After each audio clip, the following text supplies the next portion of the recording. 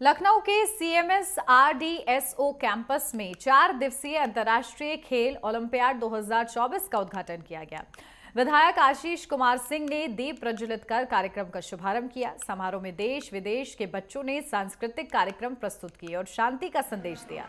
इस आयोजन में श्रीलंका, नेपाल और भारत के विभिन्न प्रदेशों से लगभग 500 बाल खिलाड़ी भाग ले रहे हैं। इस ओलंपियाड में track and field, badminton, judo, karate और वाद विवाद जैसी प्रतियोगिताएँ आयोजित की जाएँगी। मुख्य अतिथि आशीष कुमार सिंह ने कहा कि खेलों में अनुशासन और खेल भावना से ही अच्छे खिलाड़ी बनते हैं। जो भविष्य में ओलंपिक चैंपियन बन सकते हैं। सीएमएस प्रबंधक गीता गांधी किंगडन ने इस आयोजन को विश्व शांति और एकता का प्रतीक बताया। स्पर्धा 2024 की संयोजिका ज्योत्सना अतुल ने कहा कि ये ओलंपियाड बच्चों के लिए अपनी प्रतिभा प्रदर्शित करने का बेहतरीन मंच है।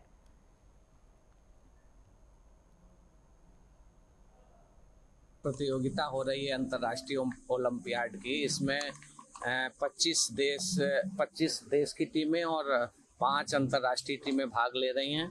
निश्चित तौर पर सी एम एस यहाँ की सबसे बड़ी संस्था है, जहाँ से बहुत से बच्चे देश विदेश में इसका नाम कर रहे हैं और निश्चित तौर पर आज जगदीश गांधी जी हमारे बीच में नहीं है, लेकिन उन्होंने जो एक शिक्षा के प्रति एक अपना मिशन है, उसको लेकर उनके परिवार के लोग, मैडम गांधी और उनकी बेटी चल रही हैं।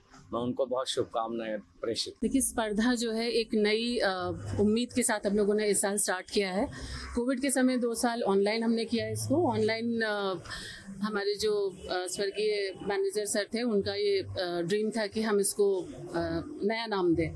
तो स्पर्धा के नाम से जब ये आयोजित किया जा रहा है। इस साल पहली बार ये ऑफलाइन मोड में हो रहा है। इसका उद्देश्य खाली है कि दूसरे दूसरे देशों से लोगों को बुलाना, बच्चों को बुलाना, हमारे बच्चे उनसे मिल पाए कोलेबरेट कर पाए। जिसकी बात हम करते हैं, आजकल सिक्स सीज जिनको कहते हैं। सिक्स सीज ऑफ़ एजुकेशन जिसका नाम, जिसमें एक बहुत इंपॉर्टेंट सी है जो कि कोलैबोरेशन है और टीम वर्क जिसकी हम बात करते हैं। तो उद्देश्य मेन इसका ये कि टीम वर्क बच्चे जाने, एक दूसरे के देशों का क्या कल्चर है डाइवर्सिटी कैसे है, उसके बारे में जानना। तो उसी उद्देश्य से इसको ऑर्गेनाइज किया गया है और इसमें चार देशों के लोग बच्चे आए हैं, सम्मिलित हुए हैं। मॉरिशस से हैं बच्चे, फिलीपींस की एक टीम है नेपाल से हैं और 43 टोटल स्कूल्स पार्टिसिपेट कर रहे हैं। 743 पार्टिसिपेंट्स जब तक का बहुत बड़ा नंबर है, आज तक कभी नहीं रहा है।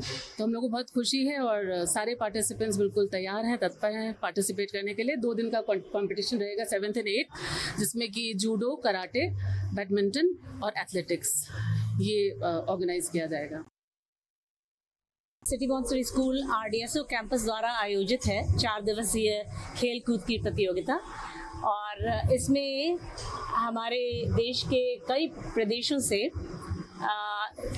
सात सौ सेवन हंड्रेड फोर्टी थ्री बच्चे आए हैं और हमारे आसपास के देशों से भी, जैसे मॉरिशस, नेपाल, श्रीलंका, कुल मिलाकर के इनसे जो हैं वो बहुत सारे पार्टिसिपेंट्स आए हैं और यहाँ पर जो गेम्स खेले जाएँगे वो हैं जूडो कराटे बैडमिंटन और एथलेटिक्स एथलेटिक्स के फ़र्क फ़र्क तरीके के गेम्स तो ये एक बहुत ही बड़ी चीज़ है। इस इवेंट का नाम है स्पर्धा। और ये हमारे आरडीएसओ कैंपस का एक ट्रेडिशन रहा है।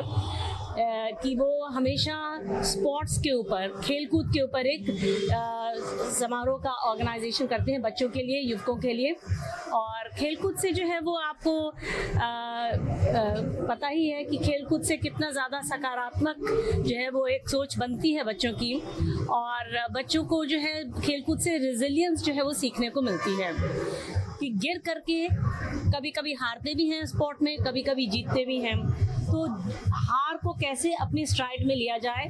हार से हिम्मत नहीं हारनी है।